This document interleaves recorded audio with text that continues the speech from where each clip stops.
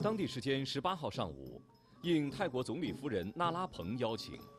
国家主席习近平夫人彭丽媛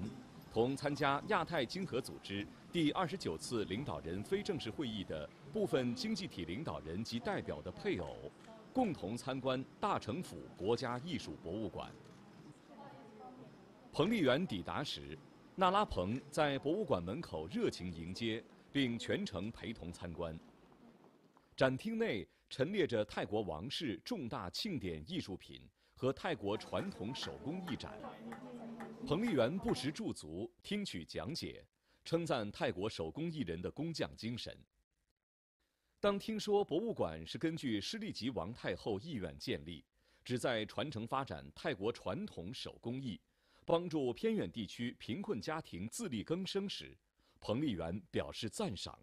并说，这和中国在老少边穷地区开展扶贫的理念很相近。在看到博物馆出售失学儿童通过王宫手工艺学校培训制作的作品时，彭丽媛欣然表示要购买一些，以支持泰国王室扶贫项目。一个莲花烛台吸引了彭丽媛的注意。彭丽媛说：“莲花出淤泥而不染，